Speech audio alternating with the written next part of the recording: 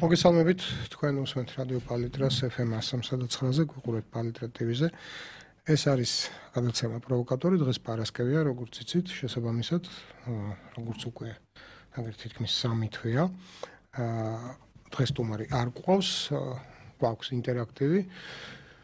იმედი მაქვს იქნებით აქტიურები, როგორც ყოველ პარასკევს, დაგვირეკავთ, დამერეკავთ უბრალოდ და ვისაუბრებთ ნებისმიერ თქვენთვის საინტერესო თემაზე, თუმცა ვეცდები რომ ეს თემები მოგაწოდოთ, გამომდინარე დღევანდელი ცხელ-ცხელი ამბებიდან, ამ ამბებს კი მე მოვიძებ Interpress News-ის, ჩვენ მედი ჰოლდინგის საინფორმაციო სააგენტოს საიტზე.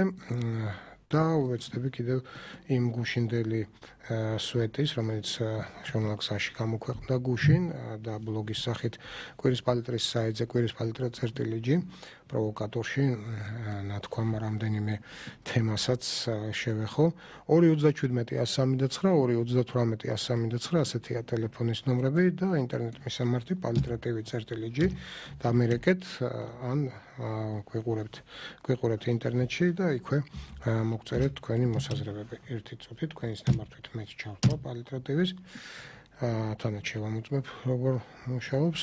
დიახ ყველაფერი წესრიგშია ყველაფერი რეგზია მაშასე გადავხედოთ ინტერპრესნიოსის ინფორმაციებს გადავხედოთ სენატში მიღებული კანონპროექტით საქართველოს ამერიკის შეერთებული შტატების თავარ პარტნიორად აღიარეს. როგორც იცით, რამდენიმე დღეა ამაზე მიმდინარეობს საუბარი საქართველოს, ამერიკისა, ესე უკაცრავად უკრაინისა და მოლდოვას შესახებ, რომ ამერიკის სენატი აპირებდა. მეეღო გადაწყვეტილება რომ ეს სამი ქვეყანა სამი სამი ქვეყნის მიენიჭებინა მთავარი პარტნიორის სტატუსი ნატოს ში გაწევრიანების გაწევრების გარეშე.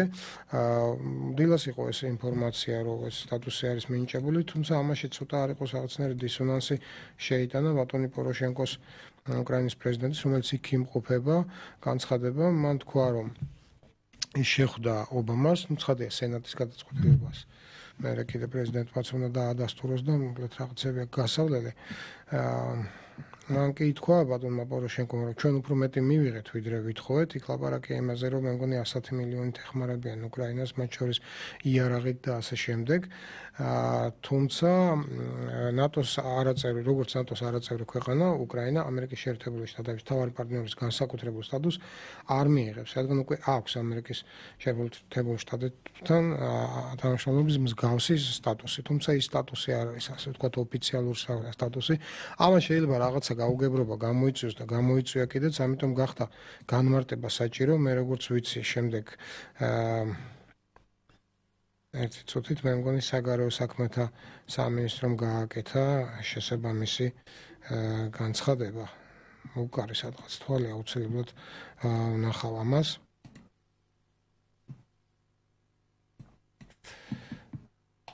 აა არა. აა გადავიდეთ კიდევ ერთემდე, ხაი დავით ზალკალნიანი. ობამას განცხადება არ ნიშნავს ავტომატურ უარს, რომ თავარი მოკავშირის სტატუსს საქართველოს ვერ მიიღებს. ანუ ის რომ უკრაინა ვერ მიიღებს გადაწყვეტილია. თუმცა რატომ აქვს, თქვათ, ჩვენ სამინისტროს იმედი რომ უკრაინაზე უფრო მაღალ სტატუსს მოგვანიჭებენ, არ ვიცი. ალბათ დღეს და ხოლმე ეს ყველაფერი გაირკვა.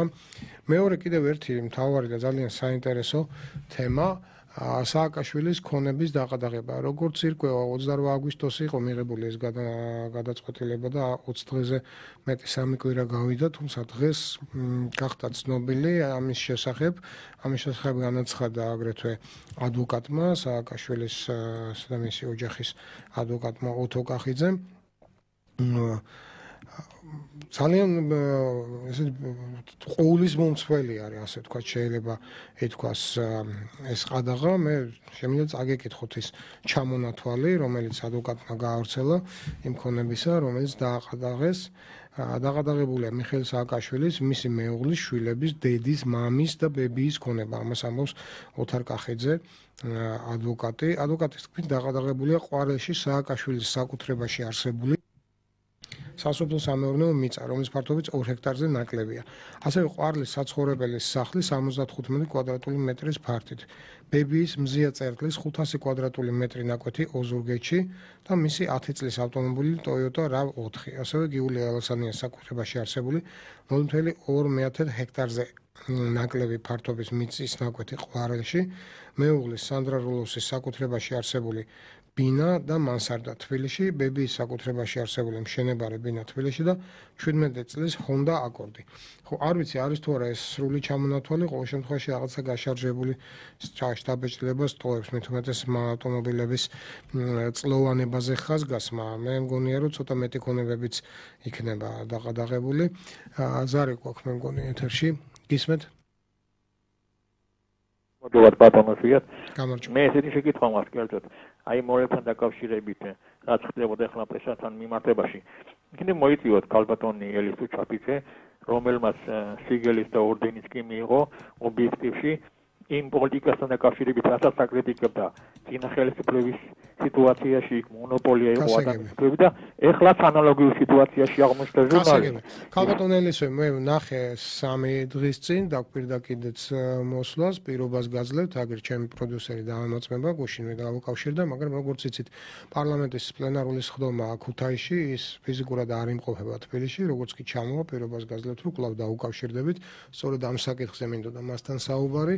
და ძალიან ვეცდებით რომ ეს ამბავი გავარკვიოთ. ალბათ უპრიანია რომ ეგეთი საკითხები ყველაზე ესეთი სწორი ადრესატი ალბათონიელისო და სხვა ჩემი ყოფილი კოლეგები არიან, რომლებიც დღეს პარლამენტის წევრები ბრძანდებიან, იგივე თქვა თოთარ ჩრდილელი, კიდევ არის ამდენიმე ჟურნალისტი, რომელიც დღეს პარლამენტში მოღვაწეობს, პარლამენტის წევრები არიან, ხალხის რჩეულები, ასე თქვა და ალბათ ის კითხები პირდაპირ მათ წინაშე უნდა დაისვას და იმედი გვაქვს რაღაცა არგუმენტირებულ პასუხს მიიღებთ ყოველ შემთხვევაში კამათის თემა მაინც დარჩება. დიდი მადლობა.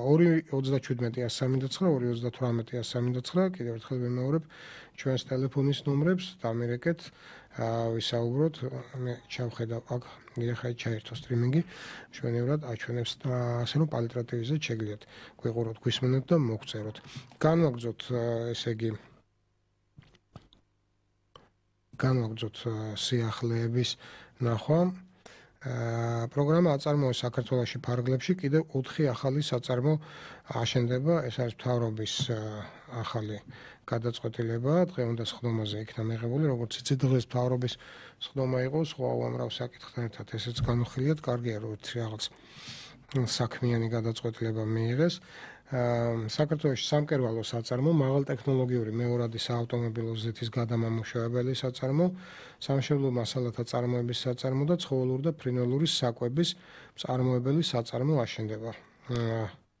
ჯამში საწარმოს 4-ვე შექმნაში დაგეგმილია დაახლოებით 4 მილიონი ლარის ინვესტიციის ჩადება. 4 მათგანი ერთად 100-ზე მეტი სამუშაო ადგილის შექმნას ითვალისწინებს. ну ესე იგი ეს არ იქნება თქვა დიდი საწარმოები, თუმცა ну 100 სამუშაო ადგილით საქმე ერთხელ კიდევ გადავხედოთ სამკერვალო საწარმო. ну პრინციპში ყოველთვის საჭიროა. მეორადი საავტომობილო ზეთის გადამამუშავებელი საწარმო ნამდვილად საჭიროა, იმიტომ რომ მეორადი საავტომობილო ზეთები ეხლა სად მიდიოდა, არავინ არ იცის, შეიძლება როგორც ამბობენ გაყალბებები და მამაძაღლობებიც კი ხდებოდა ამ მეორადი ზეთებით, კარგია თუ მისი გადამამუშავებელი საწარმო იქნება. სამშენებლო მასალათა წარმოების საწარმო ღმერთმა თქვენსო ბევრი გქონდეს ასაშენებელი, მაგრამ ფაქტია, რომ დღეს სამშენებლო მასალები ჩვენთანაც იწარმოება, მაგრამ უცხოეთთან მეტი შემოდის და ესეც საჭიროა. ცხოველ და ფრინველური საკვების წარმოებელი საწარმო. მე როგორც ვიცი, როგორც შინაურ ცხოველებს, მაგალითად ზაღლებს, ისე ფრინველებს, ვისაც ფერმია, ფერმები აქვს, რაღაცა ქვია. აი, ცნობილ საკვებს, რომელსაც ფრინველებს აჭმევენ, ხო, ესეც უცხოეთიდან შემოდის. ხო, კი ბატონო, ჩაგეთულებათ საქმეში, მთავრობას მიმართავ, თუ კი გაკეთდება. მთავრობაზე გამახსენდა. ძალიან მინდა ერთ კინოს აგეს შეიძლება თავი მოგაბეზრეთ, მაგრამ ამიტომ რამდენჯერმე გქონდა ამ და არ გაადგა გამოსწორება საშველი. ნუ კოლ ცენტრები რო უკვე ყველა იუმორისტული გადაცემის ის არის, რა ქვია, საჩაშა საღლაბუცო და შაშაყირო და საღადაო თემა, ეს საყოველთაოდ არის ცნობილი და პრინციპში იმიტომ არის, რომ მართლაც იქ თლათ ადეკვატური ადამიანები ბევრ ადგილას არ შეხედან. მაგრამ 1505 არის ეს არის ტელეფონი, რომელიც საქართველოს ჯანდაცვის სამინისტროს ცხელი ხაზია, სადაც რეკავენ ადამიანები, იმიტომ რომ ეს არის ჯანდაცვისა და სოციალური დაცვის თუ უზრუნველყოფის სამინისტრო, აგრეთვე ну აი ხა მაგალითად შემიძლია ესეთი მოკლე ამბავი მოგითხროთ, რომელიც დღეს მე თვითონ გადავხდა, ვარ სრულიად აღშფოთებული დღეს დღის ბოლომდე. ველოდები მათგან პასუხს და ну ხვალ ალბათ შეიძლება ასე ვთქვათ საჩვენებელი საჩივარი შევიტანო, იმიტომ რომ იმიტომ რომ სრულიად ყოველგვარ ზღვარს ცილდება ზოგიერთი ჩინოვნიკის იმ ადამიანის, რომელსაც სახელმწიფო უხდის ფულს შესაბამისად ჩვენ ჩვენი გადასახადებით უხდით ფულს, მათი მათი უმსგავსო მოქმედებები იქ, სადაც მუშაობენ და სადაც არასრულებენ საკუთარ მოვალებას. რაღაც ავატყოფობის გამო, ну აი ამბავს მოგიყვებით მოკლედ მამაჩემა რამდენიმე თვის განმავლობაში არ მიაკითხა ბანკს პენსიის თავის კუთვნილ ჩეულებრივად პენსიის ასახებად. მე როდესაც თქვა დაჭერდა და მივიდა 2 თუ 3 თვის შემდეგ აღმოჩნდა რომ კანონის მიხედვით თუ კი 2 თვის განმავლობაში პენსიონერი არ მოიკითხავს პენსიას ის უბრალოდ იბლოკება სოციალური სააგენტოს მიერ. ну ბუნებრივია რომ თქვა პენსიონერი ასაკშია და შეიძლება თქვა გარდაიცვალა და თყილა რომ არ გადაიხადოს ეს პენსია და ვთქვათ სხვამ რო არა იყოს მისი ბარათით. ამიტომ უნდა მივიდეს ეს პენსიონერი და ფიქსირდეს იქ რაიონის მიხედვით, ვაკის აბურთალოს რაიონის, მათ შორის დიდი დიღმის არის მიცკევიჩის ქუჩაზე და მოკლედ იქ უნდა თავიდან გაატარონ რეგისტრაციაში. მივიდა უბრალოდ მივიყვანე ძალიან ძიმე მდგომარეობაში ამ მოსახურებასაც სამწუხაროდ რატომღაც არ ითვალისწინებს კანონი და რეგულაციები, რომ თუ ადამიანი ავად არის, თქვათ სახში არავინ არ მიაკითხავს ან საავადმყოფოში, ეს რა ვიცი, ნა ოპერაციები ფაქტობრივად გაფატრული. კაცი მივიყვანე, იქ კიდევ კარგი რემ ადამიანმა ის მაინც იკადრა რომ გამოვიდა და გარეთ მანქანაში გააწერინა განცხადება და მოაწერინა ხელი, ეს ხდებოდა 19 აგვისტოს, მაშინვე ითქვა რომ კარგი არ ვეხა მოხვედით, იმიტომ რომ თვის ბოლომდე ან 1 სექტემბრამდე უნდა გამომხდარიყო ეს, რომ კვლავ დაფიქსირდეს და ის ძველი პენსიაც აუნაზღავრდება და ახალი ჩვეულებებს ამებს მიიღებს 15 სექტემბერს მოვიდა ეს 15 სექტემბერი დღეს 18-ია, ნუ არაფერიც არ დარიცხულა. მე ახლა იწყება მთელი ეპოპეა. მე ვრეკავ და ვარკვევ. ვრეკავ ჯერ 118-08-ზე, რომელიც როგორც იცით არის ცნობათა ბიურო. იქ ტელეფონი ვაკის საბურთალოს აი სოციალური მომსახურების აგენტოს დაფიქსირებული არ არის. გვაძლევენ იმ ნომერს, რომელიც არის ჯანდაც სამინისტროსი 1505 ციფრიანი ცხელი ხაზის ნომერი. რეკავთ იქ და ვეუბნებით 5 ტელეფონის ნომერებს იმაცას. ისინი გვეუბნებიან 4 ნომერს. მე შემიძლია ნებისმიერს მივაწოდო ეს 4 ნომერი და გარწმუნებთ, რომ იქ არავინ არ აიღებს 4 ტელეფონის ნომერი. ისეთი ორგანიზაციისა, სადაც რეკავენ ძირითადად შეჭირებული ადამიანები, ან სოციალურად დაუცველები, ან პენსიონერები, არც ერთი ნომერი არ მუშაობს. ერთადერთზე მიპასუხა, კი არ მიპასუხა, აიღო ახალგაზრდა კაცის ხმა იყო, რომელმაც ვიღაცას გვერდზე გადაულაპარაკა. აა, გავთიშო, უთხრა და დაკიდა და იმის მერე ის მეოთხე ტელეფონის მეოთხე ნომერის დადუმდა. აა ესე იგი, ტყილა არსებობს ეს ტელეფონის ნომერი, ან იქ ვიღაცა ზის თუ წევს თუ წამოწოლილია და არაფერს არ აკეთებს და რო ევალება რომ თქვა პასუხი გაცეს იმასაც კი არ გადრულობს. ნუ ამ ყველაფერს მე რა თქმა უნდა ისევ რეკავ 15.05-ზე ისევ გამოთქვამთ აღშფოთებას ისინი აა მოკლედ ამბობენ რომ მოხდა გაუგებრობა და იცით ეთყობა არ გადა ეს გაუგებრობის შედეგი შეიძლება იყოს ის რომ ადამიანი რომელიც სამი თვის პენსიას ერთად ელოდება და თქვა იმით წამლები უნდა იყიდოს და ასე შემდეგ ნუ ის არ არის ვიღაცის გაუგებრობის გამო. ნუ ცხადია ესე ადვილად ვერ მომიშორეს, ნუ დამჭირდა უკვე რაღაც ჩართვა ასე თქვა დამატებითი არგუმენტების ის რომ თქვა ჟურნალისტი ვარ და დღესვე ამ ყველაფერზე ვიტყვი და მე კიდე აუცილებლად საჩივარს დავწერ და მივახცევ იმას რომ ეს ყველაფერი თქვა მივიდეს ბატონი მინისტრის ყურამდე და იმასაც რომ იქ ვინც აესე უსულგულოდ იქცევა იმან ისევე როგორც თქვა კონკრეტული პენსიონერი ეხა ვერ მიიღებს თავის პენსიას, ის ვერ მიიღებს შემდეგი თვის ხელფასი, იმიტომ რომ იქ აღარ მიმუშავებს და ნუ ასე შემდეგ, ნუ მერე დაფაცურდნენ, დაიწყეს რეკვა, ნუ დამპირდნენ რომ დღის ბოლომდე რა, თუმცა ამის გარკვევას დაახლოებით საათნახევარი დაჭერ, რა თქმა უნდა, ჯერ გარკვეული არ არის, მაგრამ ფაქტია რომ იქ ადამიანები მუშაობენ, რომელიც არიან არაადეკვატური იმ თანამდებობისა, სადაც მუშაობენ. უბრალოდ ყველაფერს თავი დავანებოთ, უსულგულო დამოკიდებულება იმ კონტინენტის მიმართ, ვისი მომსახურებაც მათ ევალება. აუცილებლად მაშინ როდესაც უამრავი ადამიანი არის უმუშევარი, უამრავი ადამიანი უკეთესად შეასრულებდა ამ ფუნქციას და ნუ სამწუხაროდ აი ესეთი სიტუაცია. აი დღეს ველოდები ხარ განიმა ხო ერთი ძალიან საინტერესო პასაჟი იყო. როდესაც იმ ადამიანს ვინც იქ იყო და ვეუბნები როგორ კიდე ერთი თვე უნდა ელოდოს, ესე იგი ადამიანი თავის კუთვნილ პენსიას იმან ესე ძალიან ცინიკურად განიცხადა, რომ ერთი თვე აღარ არის დარჩენილი, დღეს 19-ია და 15-ში მიიღებს. ესე იგი 26 დღე ყოფილა დარჩენილი და ნუ აი ესე გაუსვა ხაზი. ასე რომ ბატონ სერგეენკოს მიმართა, მიმართა ქალბატონ თამარ ბუდოკიას, მის პრეს-ცენტრის ხელმძღვანელს, ჩემ კოლეგას და მეგობარს. იქნებ რამინერად მიაწვდინონ ხმა, რომ აი იქ და ჩაწებერი მითხესო ჩაწერილია აუცილებლად ამ ჩანაწერს ნახავენ შესაბამისი ხელმძღვანელები და აუცილებლად მიიღებენ გადაწყვეტილებას ადეკვატურს.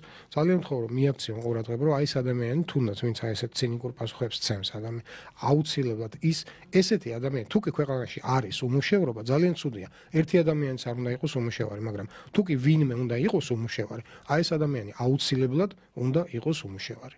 აუცილებლად უნდა იყოს ისეთ დღეში ვისაც უნდა ემსახურებოდეს და არ ემსახურება. ზარია ჩვენს ეთერში გისმენთ დიახ, გისმენთ ცოტა ხმამაღლა თუ შე. დიახ, გამარჯობათ. ახლა რა კარგად ისმის? დიახ, კარგად ისმის. აა, ისე მაიკით მიხველით, სადაც წერია რომ პროვოკატორი ხარ. ბატონო? იმ მაიკით მიხველით. არა, საერთოდ მისულა, ტელეფონზე დავრეკე. არა, აი, აი, იმ მაიკით უნდა მისულიყავით. ხო, აი, მისulis საშუალება არის. ახლა ერთი ბლიც შეკითხვა და მე მე მეორე შეკითხვა. რუდი დალიეთ იმ დღეს. ბატონო? ლუდი დალიეთ იმ დღეს იმ დღეს დავლიე ხო და მე მგონი იმან მექნა. მე სამი დღეა თირკმელი თქვა და ალბათ იმანაც გააღიზიანა მაგრამ არავინ არ მოსულა. მე და კითხრათ სიმართლე. თუმცა ამ ლუდის დალევის და 150 ლარიანი ეს ჯარიმების კამპანია გრძელდება და ვერავინ ვერ გამცა პასუხი როდესაც რეგულაციებში წერია შესაბამის პუნქტში რომ 50-დან 150 ლარამდეა ჯარიმა პირდაპირ 150-იანს რატო უწერენ? ვერავინ ვერ ამიხსნა. გისმენთ ახლა ის მთავარი შეკითხვა. დიახ ახლა თავარი შეკითხვა. აი რას ფიქრობთ ადამიანის უფლებებზე? იმიტომ რომ რაღაც მიჩუმან და ეგ თემა არავინ არ ლაპარაკობს თითქმის და ბევრი უსამართლოება ხდება იგივე პოლიცია იმით არის დაკავებული რომ ნარკოტიკებს დებენ და რაღაც ახლა სუდი სოდი და კუდი არ არის რაღაც სხვა სახე ნარკოტიკების ჩადება სიმართლე გითხრათ ეხა დარჩით ხაზე უფლებების დარღვევაში რაც ეხა თქვენ ბლიც შეკითხვაში თქვით თქვათ იგივე ლუთთან დაკავშირებით პირდაპირ 150 ლარიანი ჯარიმა და სხვა რამეები ესეც მიმაჩნია მე ადამიანის უფლებად დარღვევად. ისიც რა ამბავიც ეხლა მოუყევი და აუცილებლად არ დავანებებ ამ ამბავს თავს მაგრამ თქვენ რაც ბრძანეთ ახლა ეგ არის ადამიანის უფლებათა დარღვევის ყველაზე ესე იგი მაქსიმალური და ცუდი გამოვლინება ნარკოტიკების ჩადება როგორც თქვენ ბრძანეთ. სიმართლე გითხრათ საბედნიეროდ მე ჯერ არ გამიგია ეგეთი რამე ყოველ შემთხვევაში ძალიან ბევრი ფაქტი არის დადასტურებულად. რა აი ნუ რას ნიშნავს? ბევრი ფაქტი. შეგიძლიათ ერთი მითხრათ გვარით სახელით? აი გვარით ვერ ვიტყვი. ჩემი ახლობლები არიან კახეთში და უკვე ერთ ორს დაუდეს ერთ ორს რას ნიშნავს? ერთს თუ ორს ორს დაუდეს და ერთსაც აპირებენ ახლობელმა თქვა რომ ის სავიშენე იყო და შენზე ვიმშენეთო და ანუ ახლობელმა ახლა თქვენ მე პირველად არ მესმის თქვენი ხმა საკმაოდ კონება გახსნილი ადამიანი ბრძანდები ძალიან კარგად საუბრობთ ხოლმე და კარგ კითხვებსაც სვამ და ახლა თქვენ როგორ გჯერათ რომ ვინმე ახლობელმა გამოვიდა უთხრა რომ სავიშენე როგორც თქვენ ბრძანდებით თათფირზე გადაწყდა რომ უნდა ჩაგიდონ ნარკოტიკი თან ისეთმა ადამიანმა უთხრა რომელიც მე თქვენ გეტყოდა თქვენ აქ ეთერში იტყოდით. რაღაც არარეალურად მეჩვენება ცოტა. ვერტმა ქნასო ასე არისო თუმცა კონკრეტული შემთხვევა თუ იქნება დიდი სიამოვნებით ვისაუბრებ ამაზე. რეკლამის დრო არის. მოდით იქნებ მხოლოდ კითხვა მოვისმენოთ და გავიდეთ. სამწუხაროდ არ მოგწეს ამის უფლება რეკლამის შემდეგ დავიკავშირდით. კარგად მუშაობს ტელეფონები. დიდი ბოდიში. გელოდებით 2 წუთში დავბრუნდით ეთერში შეგახსენებთ რადიო პალიტრას უსმენთ FM 103-ზე გვიყურებთ პალიტრა TV-ზე ეს არის გადაცემა პროვოკატორი და მე გახლავართ მისი წამყვანი და თქვენც ბრძანდებით მისი წამყვანები. რადგან დღეს პარასკევია არ ყავს სტუმარი და საუბრობთ ერთმანეთთან ნებისმიერ თქვენთვის საინტერესო თემაზე. აა გისმენთ არის უკვე ზარი. უბრალოდ შეგახსენებთ სხვებს ტელეფონის ნომრებს. 237 139 238 139 დიახ გისმენთ. გამარჯობა. გამარჯობა ქალბატონო თქვენი მონაყოლი ამბავი ბევრს ეცნო ალბათ. ალბათ. ტელეფონების და წელი ხაზის და გასაიდუმლოება ტელეფონის ნომრების. დიახ. და რომ იბრძოლეთ ძალიან კარგია და შეგიძლიათ ბრძოლა ესეც კარგია. და აუცილებლად გავაგებინეთ შედეგი. აუცილებლად მოგახსენებთ ხალბატონო. სწორედ მაგიტომ ვაკეთებ და არა მხოლოდ იმიტომ რომ თქვა რაღაც შედეგს მივახციო. დიდი მადლობა. აა დიახ გისმენთ. ალო, მისმენთ? გისმენთ ხალბატონო. ხო, გამარჯობა. გამარჯობა. რასთან დაკავშირებით? აა, მე მგონი მე ხალბატონო, ცოტა ხმა მოყვა, ერთი წუთით გაასწორებენ ხმას. ალო. დიახ. დიახ გისმენთ. გისმით ჩემი? დიახ, დიახ ხალბატონო. ხო, რა მინდა რა საკითხთან დაკავშირებით გაგაწუხებთ? იცით რა შეასაქმე? სასამართლოში მაგ გადაცემული 3 წელია. მანამდე ვერ მივაღწიე ვერაფერს, შემდეგ იმედი მომეცა მოცნების მოსულ შემდეგ, მაგრამ არავითარი შედეგი არა მაქვს. სახელდობ რა? სასამართლოში მაგ გადაცემული ქალბატონი ექიმი ხარისხიანი რომელიც მესესხა ფულს მარტო კი ბევრისა აქ ესეთ სესხი მაგრამ მე იმას მივახციე რომ ამას ხელი მოვაწერინე და გადაგიხდიო თანხას ნელ-ნელავ არიხდის უკვე 2 წელიწადია. თუ კი რამეა, ყველაფერი მოხუც დედაზეა გადაფორმებული და არ მუშაობ ამბობს. კერძო აქვს სამუშაოები, მაგრამ ამბობს რომ მე არ მუშაობ და ვერაფერს ვერ მივახციეთ. უმაღლეს სასამართლოში ყველაფერში მაქვს მოგებული. აი რა შეიძლება? ეს არის ვიცი რა შეიძლება? აი იყოს ხათშორის იჭერდნენ. მე არ იჭერენ აფერისტობის ეხლა თქვენ არ მოგითხოვიეთ გასაგებია დიდი მადლობა. შეიძლება ადამიანმა მიაღწიოს დიდი მადლობა. მე როგორც ვიცი დაჭერა ეხაც არის მაგაზე თქვენ თუ მოითხოვთ. თქვა თქვენ თუ არ მოითხოვეთ არ დაიჭერენ მაგრამ რა შეიძლება მიაღწიოთ? ალბათ სასამართლომ უნდა დააკისროს.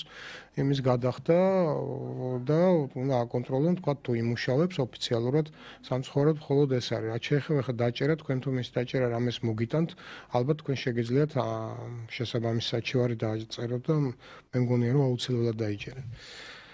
აა სამწუხაროა, მაგრამ პირველი არ ხართ და მე ნამდვილად არა ვერ გაგცემთ ალბათ კომპეტენტურ პასუხს, თუმცა რაც თქვენ ნამდვილად ვიცი რომ ესეა. დიახ გისმენთ.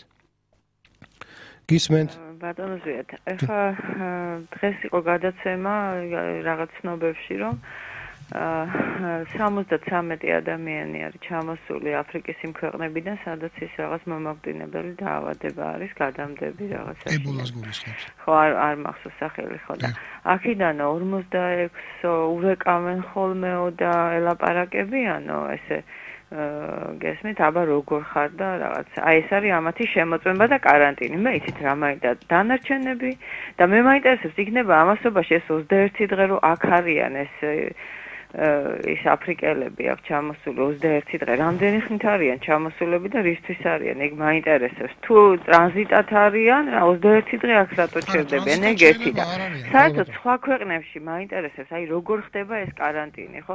მე მგონი სადღაც ცალკე უნდა მოათავსოს 21 დღე, დააკვირდე და ხალხში და ავტობუსში და იმაში მე რა გაუშვა კაცო. ის 26 თუ რას დარჩა 27 კაცი, მე რა ვიცი, რომ ჩემშულს არ შეხდება ავტობუსში. მაინტერესებს. გეთახმებით, სრულიად თუ კი каранტინი ქვია კარანტინია, каранტინი მე როგორც ვიცი ნიშნავს э, გარკვეულწილად იზოლირებას, э, ტრანზიტარიან თუ არ არიან ტრანზიტით э, 21 დღე ტრანზიტისთვის ალბათ ბევრია. მე არ მგონია შეიძლება ჩვეულებრივად არიან ჩამოსული, როგორც იცით, ახალი რეგულაციებით 90 დღის განმავლობაში აქვთ უფლება უცხოელებს საქართველოსში დარჩენსო, შემდეგ უნდა წავიდეს და ვიზა თავიდან გააკეთოს. თუმცა ისიც გასათვალისწინებელია, რომ ეს ადამიანები პრინციპში ყურადღება ექცევათ იმ თვალსაზრისით, რომ ესენი არ არიან არც დაავადებულები, არც ეჭვის ქვეშ შემყოფი, აა თქვათ კონტინგენტი, არამედ უბრალოდ არიან იმ ქვეყნებიდან ჩამოსულები, სადაც ეს გავრცელებულია. იმ ქვეყნებშიც ახლა მასობრივი ეპიდემიის ხასიათი არსად არ აქვს. როგორც იცით, ახლა მე ვცდილობ დაგამშვიდო თქვენს და ჩემი თავიც დავიმშვიდო, იმიტომ რომ მართლა არ არ მაგრამ თუ კი ვთქვათ სახელმწიფო ამბობს და ტრაბახობს და მატრაკვეცობს იმით, რომ აი ჩვენ ყველანაირად ყურადღებას ვაქცევთ და 20 თუ 22 კაცი შემოვიდა იმ ქვეყნებიდან, სადაც ებოლა არის გავრცელებული და ჩვენ ისინი ყავს ყურადღების ქვეშ, ახლა იქ თუ ყურადღების ქვეშ ყოფნა რო დაურეკავენ და როგორ ახარო მოიკითხავენ, რა ვიცი, მან შეიძლება მოატყუოს, ხო კარგად ავარ, იმიტომ რომ საქმეზეა ჩამოსული და სულაც არ უნდა რომ უთხასო ცუდად ვარ და რაღაც არ ვიცი, ახლა ესეც რაღაც ფანტასტიკის სფეროა, მაგრამ ნუ ჯვარი მწერია, არა მგონია რომ რაღაც საშიშროება იყოს. ყოველ შემთხვევაში კარანტინი გეთანხმებით, კარანტინი იმის კარანტინია რომ მუდმივი ყურადღების ქვეშ იყვნენ. მე როგორც ვიცი, მათ რაღაცა აცრებიც გაუკეთეს და ასე შემდეგ. სხვა შორის ებოლასთან დაკავშირებით გუშინ ზუსტად საღამოს ევრონიუსზე იყო ინფორმაცია, რომ ჯერ ამერიკელებმა და ორი დღის შემდეგ თუ სამი დღის შემდეგ, ანუ გუშინ ინგლისელებმაც მიიღეს უკვე ფაქტობრივად დადასტურებულად ვაქცინა, რომელიც ებოლას წინააღმდეგ პრევენციის საშუალებას იძლევა. ასე რომ ნუ გეშინიათ ებოლა ვერ იქცევა, თქვა შიცად ან რამე სხვა უარეს დაავადებად. დიახ, გისმენთ ეთერში ხართ. ეთერში ვარ? დიახ, გისმენთ ქალბატონო. იცით ცოტა ხმამაღლა თუ შეიძლება. აი ხლა მილიცია რომ დაძიოდა და ამოწმებდა ხალხს. პოლიცია. დაშენებული ვიყავი ერთი კვირა. კი აკეთებდნენ რაღაცებს ხარშავდნენ ჩემი მეზობლები, მაგრამ ისე ძალიან არ ვიყავით აკოთებულები. ეხლა მოკლედ დღეს აღარ გაიძლება სახში ისეთ დღეში ვარ. ეხლაც უყვირე იმას რომ გამოთიშეთ მეთქი რაღაცებს წავე რაღაცებს ხარშავ რას წავე და ხარშა რას გულისხმობ? ნარკოტიკებია რას გულისხმობ და დამღალე. რომ რაღაც რაღაცებს ეგრე შუშავი რაღაც იმას თვალზე მაყურებინებენ, მოკლედ დამცინიან ყველანაირად. თქვენ გაყურებინებენ? დიახ, დიახ. მე მე რომ ირეკავთ, ხავატონ, პოლიციაში დაარეკეთ. პოლიციას ჩემს სახშია და ის პოლიციელია თვითონაც ვინც აკეთებს. არ დამადგა სასველი არ საიდან. უბრალოდ მინდა რომ იცოდე. საცხოვრობ. ვერასდროს 23-ში, ჭოველიძის 23-ში. ა ბატონო, მოისმინოს ახლა პოლიციამ და პოლიციას კიდე ყავს გენერალური ინსპექცია და ახლა მოვლენ მოყვება იმას გენინსპექცია, ის გენინსპექციაში მუშაობს. აი ამ წუთში თქვენ ამბობთ რომ რაღაცას წავენ. გაუშვებენ ამ ხალხს. ჩვენ მივხედავთ და აი მოხედული ვარ ასე რომ 13 წელიწადია მახჩობენ. 13 წელი, 13 წელი ხომ არ არის. შეიკლეს ხელში დედაჩემი, დამიავადეს ძმა, დამიბრმავეს და იმპაქტი. როგორია გაწევ გამოწევა სუჩხუბი, სუ გაუთავებელი სასამართლოები ეს ის და ასეთ პატრონი არ აყავს ადამიანს. ეხლა მეგონა გვეშველო და არც ახლა არაფერი არ გვეშველა.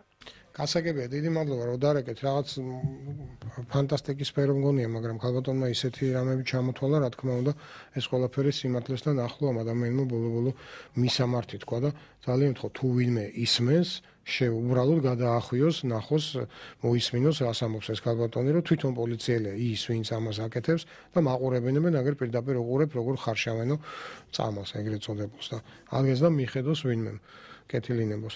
დიახ, გისმენთ. ალო? დიახ. გამარჯობა. მოგესალმებით. მე ერთ საკითხზე მინდა მივაქციო თქვენი ყურადღება, რაც ეხება აა ქონების, აფრთხილებული ქონების დაბრუნებას. ახსოვთ ალბათ, რომ ეს თავრობა სწორედ ამ ლოზუნგით მოვიდა, რომ ქონებას დაუბრუნებდა ხალხს, ხო? დიახ, დიახ, დიახ.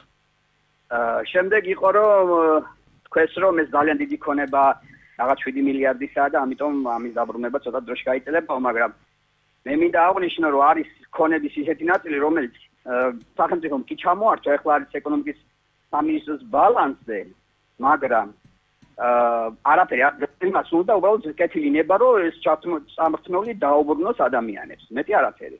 დიახ. არც დამატებითი ხარჯი დაუჯდება ბიუჯეტს და არც სახელმწიფოს არანაირად არ დააზარალებს. მაგალითად კონკრეტულად შემიძლია გითხრათ ჩემი მამა ჩემის ნაკვეთი რომელიც მიწის ნაკვეთია საუბარი რომელიც ჯერ კიდევ მაგის მამას ეკუთვნოდა კომუნისტების დროს, მე მამაჩიზე გადმოვიდა და რადგანაც რაღაც ფასმა მოიმატა ამ ნაკვეთის, ჩამოარჩეს ყოველგვარი ვახსნა განმარტების გარეშე. გაფორმებული გქონდათ? გაფორმებული გქონდა და ყველანაირი დოკუმენტაცია აქვს, დია. თავი როგორ ჩამოგართვეს? როგორ ჩამომარჩეს და სასამართლოს გადაწყვეტილებით. ანუ მიწის რეფორმა არასდროს ჩატარდაო და ამიტომ თქვენს არ გეკუთვნოდათ და ჩამოგვარჩეს. უბრალოდ ეხლა როგორ ხდებოდა ნაციონალების დროს. ბატონო? და გადასცეს ვის?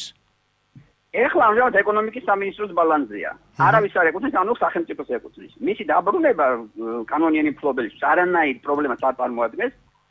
თქვენ ხომ უნდა შეიტანოთ შესაბამისი საჩივარი ბატონო? რა თქმა უნდა შევიტანეთ უკვე და მაგიტო რეკა ზუსტად როგორგანაც შევიტანეთ და ზუსტად იგივე რა და ჩვენ ვერ გახსენთ პასუხს რაღაც კომისია შეიქმნება უხსნი რომ ეს არანაირ დამატებით ხარჯებს არ უკავშირდება ეს არის მაგალითად კომისია რა შუაშია სასამართლოში თუ შეიტანეთ? ბატონო სასამართლოში არ შეიტანეთ არა, სასამართლო არიდებს, იმიტომ რომ ეს ყველა ინსტანცია უნდა გაიაროთო, ჯერ ისინი რა პასუხს გასცემენო და ასე ასე შემდეგ. სამწუხაროდ, დიდი მადლობა, მართალი ბრძანდებით. სამწუხაროდ პირველი არ ხართ, არა მხოლოდ მეცის ნაკვეთი, სულაც არ ვაკნინებ თქვა თქვენს ზარალს. თქვენთვის ის მეცის ნაკვეთი შეიძლება იმაზე მეტია, ვიდრე ვიღაცისთვის 2 და 3 მილიონი. არამედ მართლა მილიონიანი ქონებები, რომელსაც ძალიან იმედი, დიდი იმედი ქონდათ ადამიანებს, რომ დაუბრუნებდნენ, არის ისე ასე თქვა წართმეული. აა ის 7 მილიარდის ამბავი მე მახსოვს, რაც ითქვა, რომ ძნელია სახელმწიფოს თვითონ დააწובה, ამაში არის ლოგიკა თავეთ ახმოთ, მაგრამ თავარი ის არის, რომ როგორც თქვენ ბძანეთ, არის კიდევ რაღაცეები, რაც სახელმწიფოს არანაირად არ დააზარალებს. თუნდაც აი ესეთი რაღაცები, როგორც თქვენ ბძანეთ, ან თუნდაც ისეთები, როდესაც ერთი მფლობელისგან კეთილსინდისერი მფლობელისგან თუ მყიდველისგან გადავიდა ნაციონალური მოძრაობის ხელისუფლებაში ყოფნის დროს სხვა კერძო პირის ხელში, რომელიც თქვა მათთან დაახლოებული ბიზნესმენი ან მათი რაღაცა კლანის წევრი იყო და ასეთი მაგალითი უამრავია მილიონიან ქონებებზე ლაპარაკი. უბრალოდ თუ ნორმალურად და დროზე განიხილავს სასამართლო იქნება თუ პროკურატურის შესაბამისი ჯგუფი ამას ერთ ადამიანს გამოართმევს ან ერთ ჯგუფზე მეორეს დაუბრუნებს. ესეც კი არ კეთდება. თუმცა ამასაც მე ძალიან ხშირად მესაუბრე ამ თემაზე, დაწვრილებით ვიცი, უბრალოდ აღარ მინდა განვაგრძო და განვაზოგადოთ და განვავითაროთ ეს თემა. აქ ყოლია ვთქვა, იგივე კავკაზუსის ყოფილი დამფუძნებელი და ყოფილი მფლობელი სხვა აქონება დაკარგული ადამიანების და ვიცი დასწრილებით ეს ამბები. იქ სხვა პრობლემებია კიდევ. ის რომ პროკურატურას არ ყოფნის კადრები და არის საუბარი იმაზე რომ შეექმნა სპეციალური განყოფილება დაფინანსებით გამომძიებლებით 40 თუ 50 თუ 80 გამომძიებელი ჭირდება ამას და ასე შემდეგ. მოკლედ სხვა გზა არ აქვს. თუნდა აი როგორც ახლა აქ დარეკეთ უნდა იაქტიუროთ კლავაც და არ უნდა მოეშვათ. ეს არის ერთ-ერთი გამოსავალი და კიდე ის რომ მაგერ წელწად ნახევარში ახალი არჩევნები მოდის და უნდა გაახსენოთ. თქვენს მიერ არჩეულ ხელისუფლებას ან პოლიტიკურ პოლიტიკოსებს ის რომ დაგვერდით ამას და არ გაკეთდა. და ჩვენი ხმა ისევ ჩვენი ხმა. დიახ გისმენთ. გისმენთ. ისე გეთახმებით რომ გასაიდუმლო ზარებია ძალიან უხეშად პასუხობენ ზარებს ან ყველაფერს გეთახმებით მაგრამ აი პენსიაზე რომ ბრძანეთ რომ 2 თვის მერე იბლოკება? მე ვიცი რომ 6 თვის მერე იბლოკება. არა 2 თუ 3 თვის მერე ქალბატონო გარწმუნებთ იმიტომ რომ მე ოპერატორთან დავრეკე ხო გადავამეჭე რომ მეც აგვისტოში არ მიღია და ახლა უნდა ავიღო და არავითარი დაბრკოლება არ შემიძლია აგვისტოს მერე ახლა ნუ ერთი თვია გასული. არა მეორე თვია უკვე ხო ნუ ორი თვე გარწმუნებთ ახლა მე ზუსტად ვიცი რამდენ ხანს იყო ალბათ რამდენ ხანს რამდენ ხანს 6 თვის მერე იბლოკება ეხლაც მითხრა რა არ ვიცი ორი ორი სამი თვის შემდეგ ხასამბობე და ხასაკეთებენ სამწუხაროდ თვის შემდეგ შეიძლება სხვადასხვა რაიონში სხვადასხვანაირად შეიძლება ასაკის მიხედვით არ ვიცი ფაქტია რომ ზუსტად 3 თვის შემდეგ მესამე თვის სფეროზე რომ მივიდა აღარ მიცეს მე თვითონ მივყევი და ასეა ზუსტად ანუ 2 თვის აქვს გადასახდელი. დიდი მადლობა რომ დარეკეთ. დიახ გისმენთ. გისმენთ? ყავს მსმენელი არ არის მსმენელი ჯერჯერობით დაუბრუნდეთ enterprise news-ის სიახლეებს მოდი დაუბრუნდეთ ინტერპრეს ნიუს კი არა პროვოკატორის ბლოკში რა დავწერე. გუშინ. ხო მურმან დუმბაძეზე საუბრობდი. ეს მურმან დუმბაძე მოკლედ გაუხდათ ისა 2012 წელს ასე ვიწყებთ. შემიძლია ჩავიკითხო. 2012 წელს არჩევნების წინ მურმან დუმბაძე რომ იწევლებოდა, ვინც მარჯვენა ხელი შემოხაზავს, ხუთიანს ხელი გაუხმება, ვინც მარცხენათი განგრენა დაემართებაო, თუ კიბო არ მახსოვს ზუსტად, მაგრამ რაღაც საშინელებას კი ამბობდა. მაშინ ცხომებული ბებია ჩემის ნათქვამი მახსენდებოდა, არ ვარგა ბებია კაცის წყევლა მასვე დაემართებაო. ამიტომ ღელავდი იმის მიუხედავად რომ სულაც არ ვიცნობდი, მაშინ ამ კაც არ მინდოდა რომ ჭყალებში მასვე დამართოდა, მაგრამ არ გაჩერდა და აბატონო. ვეღარ თვითონ ითვლის მე რამდენი პარტიიდან გარიცხეს. სამაგერო დაჭარის თავრობის იმ ხელმძღვანელებს, ვის კრიტიკოს კრიტიკასაც შეეწირა დონბაძე. ვიცნებ ასე თუ ისე. ყოველ შემთხვევაში რამდენიმე დღე მაქვს მათთან ერთად გატარებული უცხოეთში. როდესაც ისინი ვიზიტით იმყოფებოდნენ და რა ვიცი, რა თქვა დონბაძემ, უნარო მთავრობაო, მეტი არაფერი, ხო? საკმაოდ თავშეკავებული და კორექტული კაცი ყოფილა ეს დუმბაძე. აი ესე ვიწყებ, იმიტომ რომ მე როგორც ვიცი, აი ამ კონფლიქტის ერთ-ერთი მთავარი მიზეზი იყო ის, რომ უნარო ინვესტიციების დამბლოკავი და ასე შემდეგ რაღაც მსგავსები უწოდა აჭარის ხელმძღვანელობას მურმან დუმბაძემ და ამის გულისთვის იგი მოკვეთეს თავისი პარტიიდან და ეხლა ძალიან ცდილობენ და ჩალიჩებენ. ისე ესეც ვერ მოახერხა პარლამენტმა რომ გადაეყენებინა ვიცას სპეკერობიდან, იმიტომ რომ 4 კაციდან თუ 4 6 კაციდან 4 ვერ დაითანხმა აჭარის დელეგაციიდან. ხოლო იმას ვამბობდი, ის მთავრობა აჭარის, რა ვიცი, ერთხელ ვიყავი მათთან ერთად რაღაც მოხდა ასე. აა ვიზიტით იყვნენ და თვალყურს ვადევნებდი მთელ ამ ვიზიტს. მათთან ერთად ვიყავი ხოლმე შეხვედრებზე უცხოეთში, სადაც უამრავი შეთავაზება ჰქონდათ ინვესტიციების და სრულად არა ადეკვატურად იქცეოდნენ.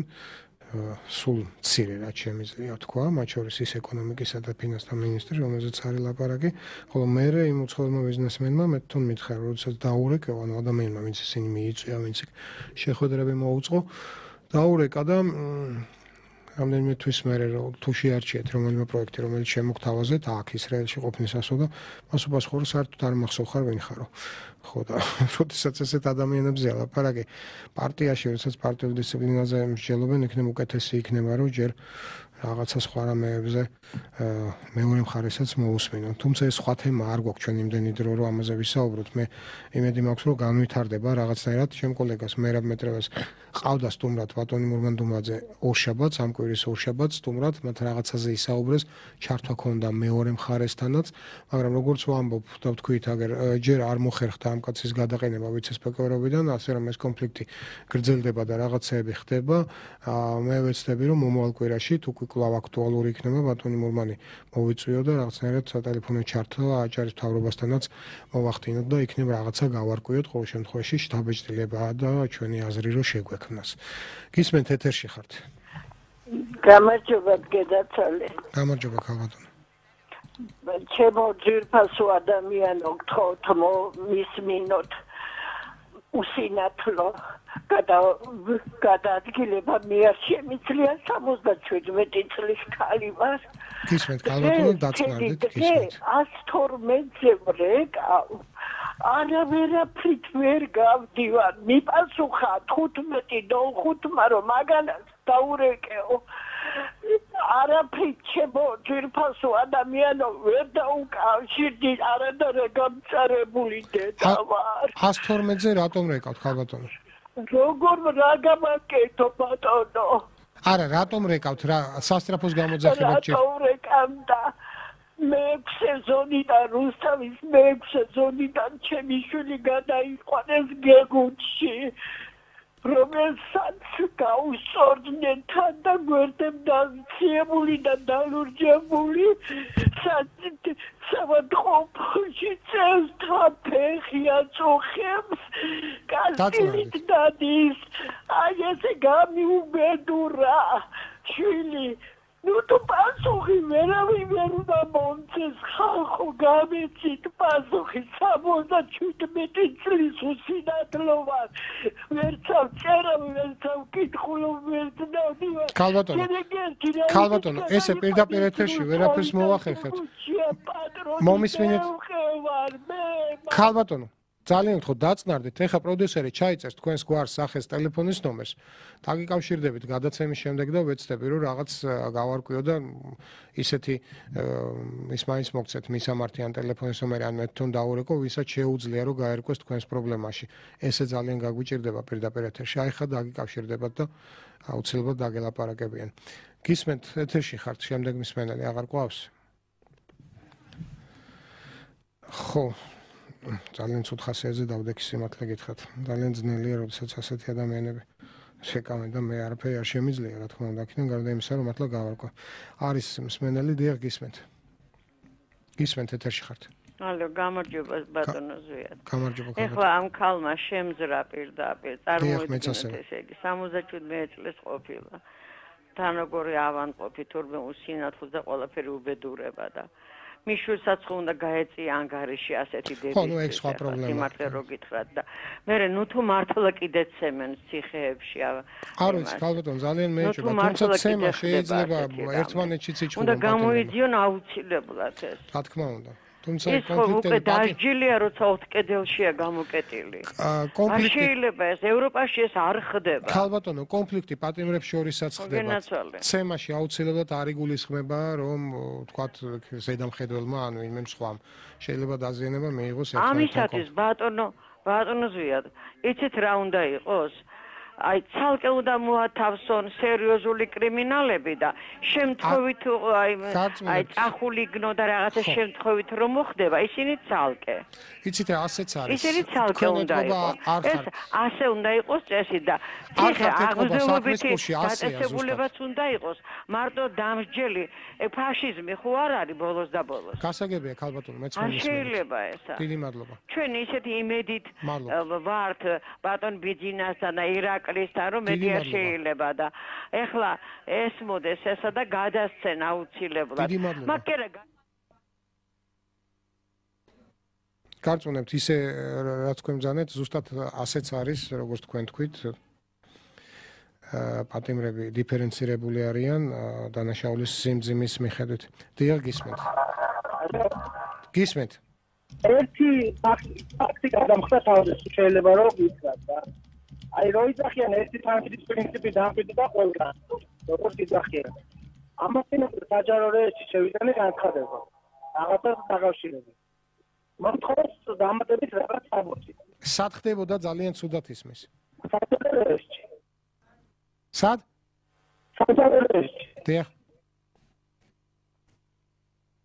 ბოდის ვიხდი სამწუხაროდ სხვამსმენელი უნდა შემოდა. ძალიან ცუდად ისმოდა თუმცა ჩემო ბატონო გავიგე და ახლობით რაზე იყო ლაპარაკი? ისევ აი ვალაკიტაზე ისევ ბიუროკრატიულ 900 განცხადების დაწერის მოთხოვნაზე და სიარულზე სიარულზე სიარულზე და ასე შემდეგ. ის რაც მე რითიც დავიწყე. დიახ გისმენთ ეთერში ხართ ალო, ეთერში ვარ? დიახ, ალბათონ. გამარჯობათ ბატონ ზუიად, დარეკვას არ ვაპირებდი, შემთხვევით გვიან ჩავერთე, ნუ სახში ახლა მოვედი და მოვისმინე იმ ქალბატონის ის ზარი. დიახ. და მართლა აი დათრგუნული ვარ ძალიან, ა. მე მინდა იმ ხალხს მიმართო, რომელსაც ეგრეთ წოდებული მთავრობა ქვია და აქვს მართვის სადავები. კეთილი ინებონ მოხდეს სისტემური ცვლილება. იმიტომ რომ ის ხალხი, ვინც ჩადიოდა დანაშაულს, ისინი არ დაშინა არც ციხეებში და არც არსად. და ჩვენ იმიტომ კი არ გადავიჩიეთო ფიზიკურად არ მოგწონდა გიორგი ბარამიძე ან სააკაშვილი.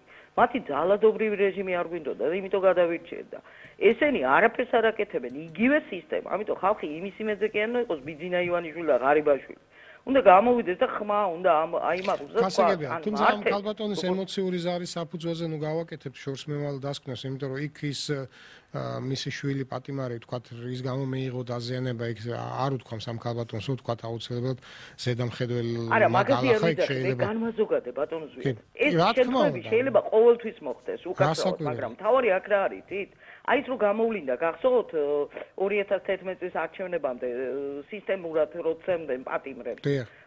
რო იდგნენ პატიმრები და საერთოდ დღეში წესი რო იყო? ხო აი ეს სისტემური დანაშაული ხო უნდა დაისაჯოს?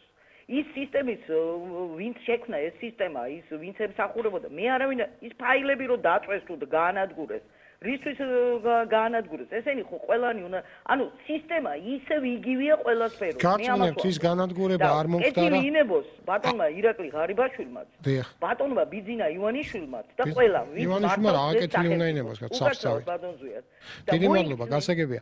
გასაგებია ქალბატონო თუმცა გარწმუნებთ იმ ფაილების დაწვა და განადგურებამდე იქ ყველა ვინც კი დანაშაულს ნიშნებს ატარებდა ყველა დაფიქსირებულია და ეს განადგურება მოხდა მხოლოდ იმიტომ რომ იქ ადამიანების ღირსებისა და პატივის შემლახველი სიტუაციები იყო და ის უნდა მომსპარიყო.